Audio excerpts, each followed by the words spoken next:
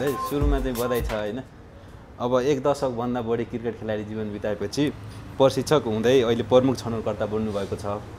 अब नयाँ जिम्मेवारीलाई चाहिँ कसरी लिनुहुन्छ? यो जिम्मेवारीलाई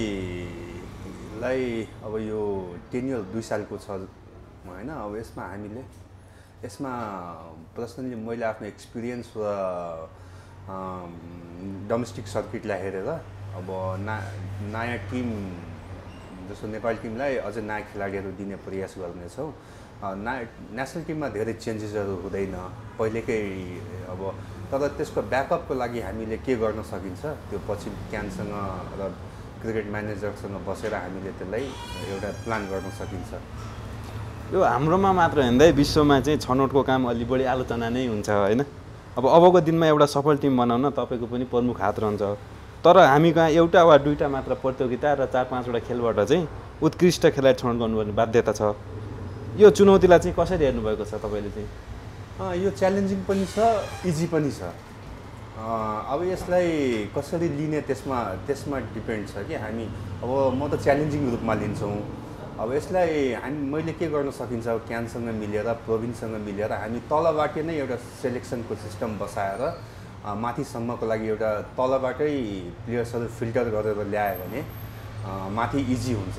र मैले पहिले पनि भने कि नेसनल टिममा धेरै चेन्जेसहरू हुँदैन तर ब्याकअपको लागि प्लेयर्सहरूलाई हामी रेडी बनायो भने नेसनल टिमलाई इजी हुन्छ सेलेक्सन गर्नको लागि र फ्युचरमा कोही इन्जर्ड भयो या पर्फर्मेन्स गरिरहेछन् भने रिप्लेसमेन्ट इजी हुन्छ।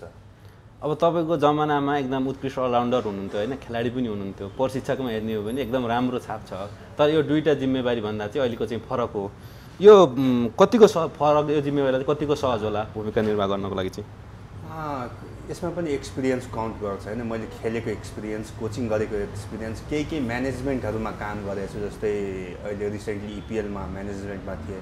पोखरा राइनर्सको पनि टिममा म्यानेजमेन्टमै थिएँ कोचिङ गर्न बढी यो एक्सपिरियन्सहरूलाई मैले अब यो सेलेक्सनको जुन हाम मलाई रिस्पोन्सिबिलिटी दिएछ म सब यसलाई त्यही एक्सपिरियन्सहरूलाई युज गरेर खास गरी प्रोभिन्सहरूसँग समन्वय गरेर काम गर्न कोसिस गर्छौँ।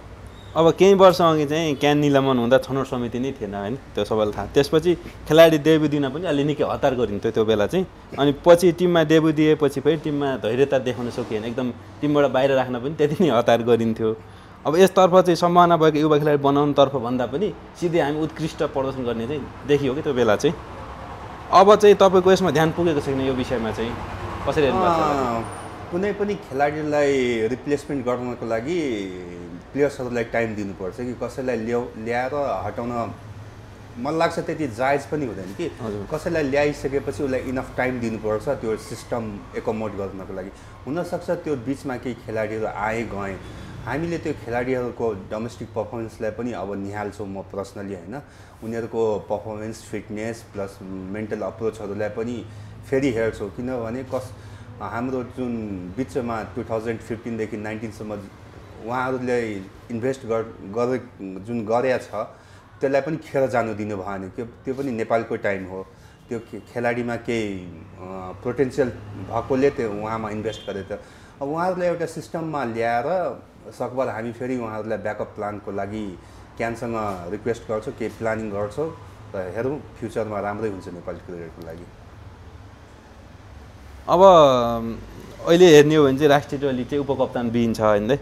अब उपकप्तानलाई भविष्यको कप्तान पनि हेरिन्छ जताको परम्परा छ। उपकप्तान चयन चाहिँ कसरी हुन्छ भनेर हेरिएको छ? यसमा तपाईँको धारणा चाहिँ के छ?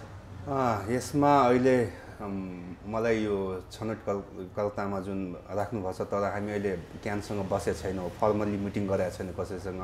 अब यो क्यानको डिसिजन थियो ज्ञानुलाई रिप्लेस गर्न सन्दीपको। वाइस क्याप्टन अहिले पनि खाली छ। अब यो यो अहिले कोचको डिसिजनमा जान्छ। कुनै न्युली एक्स अनएक्सपिरियन्स प्लेयरलाई क्याप्टेन बनाउँछ वाइस क्याप्टेन बनाउँछ कि कुनै एक्सपिरियन्स प्लेयरलाई वाइस क्याप्टेन बनाउँछ सन्दीपलाई सहज हुन्छ फिल्डमा असिस्टको लागि। यसमा अहिले मेरो त्यति लाग्छ योगदान हुँदैन। अब नेपालको अन्तर्राष्ट्रिय क्रिकेट यात्रा र तपाईँको चाहिँ व्यक्तिगत क्रिकेट यात्रा लगभग सँगसँगै सुरु भएको थियो होइन? त्यति बेला र अहिले समयमा क्रिकेटमा देखिएका मुख्य परिवर्तनहरू चाहिँ के के छ तपाईँले? हामी हाम्रो पालामा क्रिकेट एउटा के भन्ने प्यासनको लागि पनि भन्दा पनि हामी क्रिकेट खेल्थ्यौँ कि के को लागि खेल्थ्यौँ थाहा थिएन कि। क्रिकेट खेल्थ्यौँ कति मान्छे लकी थियो मेरोसँग जसले नेसनल रिप्रेजेन्ट गर्थ्यो नेसनल टिम रिप्रेजेन्ट गर्थ्यो हामी जति इक्वल्ली ट्यालेन्टेड खेलाडी कति रिप्रेजेन्ट गर्न पाएन। त्यस त्यसमा हामी मलाई दुवै पाटोमा कुनै रिग्रेट पनि छैन त्यति एक्साइटमेन्ट पनि छैन कि किनभने हामी आफै चुज गरेको क्रिकेट खेल्न। तर अहिलेको उसमा के छ भने प्रोफेसनलिजम अलिअलि आएको छ नेपाली क्रिकेटमा। मान्छे ब्रेड एन्ड बटरको लागि पनि फाइट गरिरहेछ। क्रिकेटबाटै कति मान्छेले आफ्नो ब्रेड एन्ड बटर सर्भाइभ गरिरहेछ कतिले त्योभन्दा माथिको लेभलको पनि चिजहरू पाइरहेछन्। जस्तो सन्दीपलाई लिन सकिन्छ के पारसलाई लिन सकिन्छ। अहिलेको करेन्ट केही खेलाडीहरू छन् जसले राम्रै पैसा कमाउँछन्।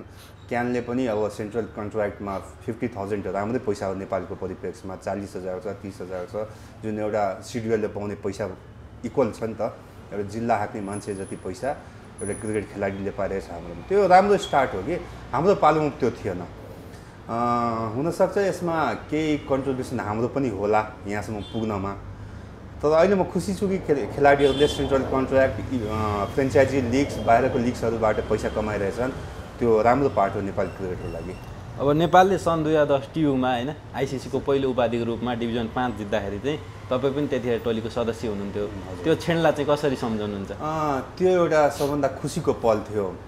पर्सनली हामी सबैको लागि नेपाल सिनियर टिमले पहिलो कुनै उपाधि आफ्नो देशमा जितेको थियो। त्यसको वर्णन गर्न सकिँदैन त्यो क्षणलाई तर त्यो अति नै जिन्दगीभर हामीले एउटा गुड मेमोरिजमा राख्ने सबभन्दा राम्रो पलमध्ये एक हो त्यो। अब घरेलु क्रिकेटमा तपाईँ एउटा सफल कप्तान हुनुहुन्थ्यो होइन? त्यतिखेर विराटनगर तत्कालीन क्षेत्र नम्बर एकलाई चाहिँ दुई हजार अन्ठाउन्नदेखि एकसट्ठीसम्म वीरेन्द्र स्मृति राष्ट्रिय प्रतियोगिता लगातार जिताउनु भएको थियो र अहिलेसम्म हेर्ने हो भने राष्ट्रिय प्रतियोगिता लगातार जिताउने कप्तान एक्लो तपाईँ मात्र हो। अब राष्ट्रिय टोलीको उपकप्तान पनि बन्नुभयो हजुर। तपाईँलाई राष्ट्रिय टोलीको कप्तान पनि एक दिन हुन्छु जस्तो कहिलेकाहीँ लाग्थ्यो कि लाग्थेन त्यस्तो मनमा कहिले आएन। अब मभन्दा सिनियरहरू थिएँ होइन। राजु दाईलाई क्याप्टेन बनाउनु भएको थियो त्योभन्दा पहिले पवन दाई थियो। उहाँ उहाँभन्दा पहिले एलबी दाई हुनुहुन्थ्यो। अब पवन दाईलाई म रेस्पेक्ट एकदम गर्छु कि उहाँलाई म देखेर क्रिकेट ब्याटिङ खास गरी सिकेको थिएँ। पवन दाई मनिष दाई मुसरफ दाई उहाँहरूले मलाई धेरै नै सिकाउनु भएको छ क्रिकेटमा। पछि राजु दाई आउनुभयो क्याप्टेनमा र विनोदलाई वाइस क्याप्टेन बनायो। विनोद र हामी समकालीन नै हो केही एक दुई वर्षको एजमा तलमा थियो होला। अब विनोदलाई वाइस क्याप्टेनमा इन्भेस्ट गरिसकेपछि डेफिनेटली नेक्स्ट क्याप्टेन त्यही थियो। हामी विनोदसँग राम्रो साथी पनि थियौँ। क्याप्टेन नभए पनि विनोदसँग हामी जहिले डिस्कस गर्थ्यौँ प्लानिङको लागि। अनफर्चुनेटली अनफर्चुनेटली हामी कुनै पनि राम्रो इभेन्टहरू क्वालिफाई गर्न पाएन त्यो टाइममा। त्यो बेला सिस्टम पनि त्यस्तै थियो। अहिले जति एक्टिभ क्रिकेट पनि थिएन।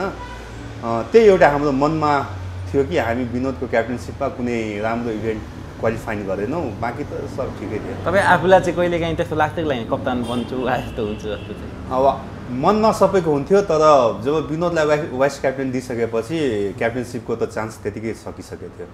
अब तपाईँका स्व स्वभावको हिसाबले हेर्ने हो भने पनि कम बोल्नुहुन्छ होइन? एकदम शान्त देख्नुहुन्छ। तर क्यानको राजनीतिबाट पनि अलग पनि देख्नुहुन्छ। तरल अवस्थामा रहेको क्रिकेटको माहौलबाट चाहिँ मुख्य छनौट प्रतिको भूमिका निर्वाह गर्न कतिको सहज होला? खेलाडीको लाइफ टुङ्गाइसकेपछि पहिलोचोटि क्यानसँग मिलेर के काम गरिरहेछौँ र मेरो जति पनि यो लास्टको दस सालको एक्सपिरियन्सले मैले जुन कामहरू गरेको छु त्यति अनसक्सेसफुल भएको छैन। सक्सेस नै छु चाहे फ्रेन्चाइजी क्रिकेटमा होस् चाहे इपिएलमा होस् चाहे डिसिएको कोचिङ होस् केही दिन डिपिएललाई पनि एउटा इभेन्टमा सघाएको मैले सघाएको थिएँ। अब त्यही एक्सपिरियन्सहरूलाई यो सेलेक्सन कमिटीमा पनि ल्याउँछु। आशा गरौँ यहाँ पनि सफल नै हुन्छौँ। तपाईँको खेल जीवनको उत्कृष्ट छेड अनि व्यक्तिगत प्रदर्शन चाहिँ कसलाई सम्झिन्छ? उत्कृष्ट पल चाहिँ डिभिजन फाइभ जितेको नेपालमा। अनि त्यसपछि केही राम्रा पलहरू थिए जस्तो कि हामीले टु थाउजन्ड टूको एसिसीमा फाइनल पुगेका थियौँ। हामीले मैले केही पर्सनल पर्फर्मेन्सहरू गरेको थिएँ। पहिलोचोटि थ्री थ्री डे खेलेको थिएँ दुबईमा। त्यो पनि एउटा राम्रो एक्सपिरियन्स थियो। त्यसपछि हामीले केही थ्री डेजहरू नेपालमा जितेको थियौँ। त्यो राम्रो पलहरू थियो। व्यक्तिगत प्रदर्शन चाहिँ त्यस्तो आफूलाई लागेको उच्च प्रदर्शनहरू चाहिँ? मैले टी ट्वेन्टी क्रिकेटमा केही बलिङ पर्फर्मेन्सहरूले जिताएको थियो कि। अब ब्याटिङ दिन गरिरहेको त्यति मलाई एक्साइटमेन्ट हुन्थेन रन बनाएपछि। तर बलिङ पर्फर्मेन्सले एक दुईवटा म्याचहरू मैले अलिक कन्ट्रिब्युट गरेको थिएँ। खास गरी जुन म्याच टाई भएको थियो कतारसँग त्यसमा लास्टमा बलिङ दिएको थियो पारस क्याप्टेन थियो अनि मैले चार विकेट लिएको थियो। त्यो मलाई अहिले पनि सम्झना आउँछ कि सबभन्दा पहिले त्यो युए विरुद्ध छ विकेट अनि कुवेत विरुद्धको ओसी रन त्यसलाई चाहिँ कसरी सम्झिनुहुन्छ त्यो पनि राम्रो छ। अब नाइन्टिन नाइन्टी एटको मलाई त्यति याद छैन कि। त्यो बेला म एकदम यङ थिएँ कि। मलाई क्रिकेट खेल्नुदेखि मतलब थियो। अब त्यो कुवेतसँग अस्सी रन बनाउने बेला पनि त्यो क्वालिफाइङको लागि इम्पोर्टेन्ट थियो। र हाम्रो मैले पछि ब्याटिङ गर्थेँ। अट्ठाइस उन्तिस ओभरतिर ब्याटिङ गर्न हजुर। र बाँकी बाइस ओभरमा अस्सी रन बनाएको थिएँ कि। त्यो पनि राम्रै थियो। तपाईँको करियरमा चाहिँ लागेको नमिठो पल तितो कुन थियो? कुनलाई ठान्नुहुन्छ? जर्सीमा। जर्सीमा म खेल्न पनि पाएको थिएन। हजुर प्लस वान फोर्टी सिक्स या वान फोर्टी सेभेन रन थियो अफगानिस्तानलाई चेज गर्नुपर्ने। त्यो हामी गर्न सकेको थिएन। एक त फिल्ड प्लेइङ इलेभेनमा थिएन। हजुर। तर अफगानिस्तान जस्तो टिमलाई एक सय छ्यालिस सैँतालिस रन पनि चेज गर्न नपाएर हामी क्वालिफाइङ भएनौँ फाइनलको लागि। त्यो सबभन्दा खट्किने टाइम मनमा। अब पछिल्लो समय केही युवा स्टार खेलाडी तपाईँको पोजिसनको खुलेरै प्रशंसा गर्छन् होइन? अब भविष्यमा पोजिसनमा फर्किने सम्भावना चाहिँ छ कि छैन हजुरले कोचिङ डेफिनेटली गर्छु। अब म कोचिङ भन्दा पनि प्लेयर्सहरूलाई राम्रो ठाउँमा पुगाउने काम गर्छु कि अब उस कस को कहाँ सुटेबल छ। अहिले पनि a kind of coaching mentor गर्ने नै हो यो सेलेक्सन कमिटीमा आएर। डेफिनेटली कुनै कोही राम्रो खेलाडी आयो भने उसलाई म सजेस्ट गर्छु तेरो तिम्रो पोजिसन यो हो यहाँ यो काम गऱ्यो भने तिमी यो पोजिसनको लागि बेटर हुन्छ। अब जस्तो विवेक हुनसक्छ या लोकेश भयो केही अझै राम्रो केटाहरू छन् जसलाई म अहिले अहिले पनि निहालिरहेको छु उनीहरूलाई सजेस्ट गर्छु तिम्रो ठाउँ यो बेस्ट पोजिसन हो। यो पोजिसनको लागि यसरी प्रिपेरेसन गऱ्यो भने तिमी माथि जान सक्छौ। अब तपाईँले खेल्दा समयको राम्रो तर अहिले चाहिँ क्रिकेटमा मिस हुने कुनै त्यस्तो विषय छ? मिस गर्ने विषयहरू धेरै छन् होइन अँ, हुनसक्थ्यो म पनि वर्ल्ड कपको पार्ट एज अ प्लेइङ हुनसक्थेँ या कि अब कोचिङमा कोचिङ पार्टबाट पनि हुनसक्थ्यो त्योहरू अब नेपालमा धेरै एक्सपर्टिजहरू छ कोही न कोही एकजना जान्छ हुनसक्छ म त्यसमा छैन होइन अब यो पार्टबाट पनि मैले क्यानबाट जुड्या छु होइन हुनसक्छ यो पार्टबाट पनि केही कन्ट्रिब्युट कन्ट्रिब्युट गरेर नेपाली क्रिकेटलाई माथि वर्ल्ड कपसम्म पुगाउन सकिन्छ कि? खास गरी फिफ्टी ओभर्सको जुन छ त्यो इम्पोर्टेन्ट छ। मैले दाइलाई खोज्न त्यो खेला चाहिँ जुन टिम थियो नि त्यो टिममा भएको एकदम राम्रो कुरा पछि होइन? तर अहिले चाहिँ जुन टिममा नभएको कुनै त्यस्तो विषय छ भन्नु त्यो बेला हामी हामीहरू सबैजना होटलमा बस्थ्यौँ एउटा परिवार जस्तो बस्थ्यौँ हाँस्थ्यौँ खेल्थ्यौँ झगडा गर्थ्यौँ। अहिलेको केटाहरूलाई सोद्धा धेरै केटाहरू होटल बस्दैन। बिचमा अहिले सबै फेरि होटलमै बसिरहेछन्। अब म अहिले त्यति उनीहरूसँग होटलमा गएर बसेको छैन। त्यही हो कि होटलको पार्ट रमाइलो थियो। पछि हामी जब छुट्यौँ सबै आफ्नो इन्डिभिजुअल भयो। अनि त्यो अफ द फिल्डको त्यो सानो सानो जोक्सहरू त्यो हुन्छ नि त्योहरू मिस हुन्छ कहिले काहीँ अब पछिल्लो समय त युवा खेलाडीमा गैर जिम्मेवारीपनको ठुलो समस्या रूपमा रहेको चर्चा छ होइन? त्यसमा चाहिँ तपाईँको के ठान्नुहुन्छ अनि समस्या छ भने त्यसलाई कसरी चाहिँ समाधान गरिदिन सकिन्छ होला? एउटा परिवारमा समस्या डेफिनेटली हुन्छ। चौध पन्ध्र बिस पच्चिसजनाको फ्यामिली भइसकेपछि डिफ्रेन्ट मेन्टालिटी डिफ्रेन्ट अप्रोचबाट आउँछ। तर मलाई लाग्छ कि अन द फिल्ड जब चौध पन्ध्रजना छिर्छ छिर्छ भने देशको लागि छिर्छ त्यहाँ कसैको मनमा त्यो हुँदैन। मलाई आफ्नो क्षण याद आउँछ कि म कति प्लेयर्सहरूसँग कहिले डिनर सँगै गरिनँ। अफिसियल डिनर बाहेक। तर खेल्ने बेला हामी सँगै खेल्थ्यौँ सेलिब्रेसन सँगै गर्थ्यौँ। उसको बलमा मैले क्याच सम्झ्दा ऊ पनि हामीसँग जहिले उत्तिकै खुसी हुन्थ्यो। त्यो त्यो पार्ट अहिले पनि नेपाली टिममा होला र छ मलाई लाग्छ होइन? अब कुरा आयो अहिलेको जुन मिडियाहरूमा आइरहेछ त्यो अब जब कस्तो हुन्छ नि फेसिलिटी बढ्दै जान्छ डिजायर पनि बढ्दै जान्छ कि? अब डिजायरले पनि होला सबैजनाले बढी एचिभ गर्न खोज्छ होइन? एचिभ गर्नको लागि सबैले एउटै एउटै ठाउँको लागि कुद्यो भने एकजना नै फर्स्ट हुन्छ कि? तर यहाँ धेरै मान्छे त्यो एक नम्बर हुनको लागि कुदिरहेछ। डेफिनेटली त्यसमा इन्डिभिजुअल कहीँ न कहीँ ऊ भइहाल्छ कि तपाईँलाई कम्पिटिसन भइहाल्छ। अहिले सायद त्यही भइरहेछ। तपाईँ आफ्नो काम गर्नको लागि चाहिँ क्यानबाट चाहिँ कस्तो वातावरणको अपेक्षा गर्नुभएको छ? क्यानबाट मलाई लाग्दैन त्यति इन्टर इन्टरफेरेन्स हुन्छ। राम नेपाली क्रिकेटको राम्रोको लागि हो। र म क्यानसँग समन्वय गरेर नै अगाडि बढ्ने हो। मेरो इन्डिभिजुअल भन्दा पनि नेपाली क्रिकेटको लागि हो। डेफिनेटली क्यानसँग मिलेरै अगाडि जान्छौँ। हामी दुईजना दुईवटा पार्टी बसेर नेपाली क्रिकेटको बेटरमेन्टको लागि के हुन्छ त्यसको बाटो निकालेर अगाडि बढ्ने हो। अन्त्यमा दाइ भविष्यमा चाहिँ नेपाली क्रिकेटमा तपाईँ आफूलाई कहाँ र कुन भूमिकामा चाहिँ देख्नुहुन्छ? कुनै न कुनै भूमिकामा हुन्छौँ। यही भूमिका भन्न सकिँदैन। किनभने अब म एज अ कोच पनि अहिले काम गरिरहेछु तर प्राइभेट कोचिङ मेरो बढी फोकस छ होइन। किनभने सबैले आफ्नो आफ्नो टार्गेट सेट गर्यो भने बेटर हुन्छ। मैले बढी फ्रेन्चाइजी क्रिकेटलाई आफूलाई डेलिकेट गरेछु। भोलि पर्सि अब नेसनल नेसनल सेटअपमा पनि आउनु पऱ्यो भने नाइन्टिन छ सिक्सटिन छ। तर यसको लागि अरू अरूलाई पनि अपर्च्युनिटी दिनुपर्छ कि। मेरो हिसाबले नेपाली कोचेसहरूलाई अब फ्रेन्चाइजी क्रिकेटमा अब मलाई लाग्छ कि भोलि पर्सि कम्पिटिसन बढ्दै जान्छ। बाहिरको कोचेसहरू आउँछ। नेपालमा नेपाली एक्सपर्टिजहरूसँग काम गऱ्यो त्यहीसँग म पनि मिलेर काम गऱ्यो भने हामीले एक्सपिरियन्स सेयर गर्न सकिन्छ र मैले भएको केही एक्सपिरियन्स र नलेजहरू डोमेस्टिक कोचेसहरूसँग मिलेर सेयर गऱ्यो भने नेपाली क्रिकेटलाई फाइदा हुन्छ। हस् धेरै धेरै धन्यवाद तपाईँको अमूल्य समय दिएकोमा। थ्याङ्क यू भाइ मलाई पनि केही कुरा राख्न दिएकोमा। थ्याङ्क यू भेरी मच धन्यवाद।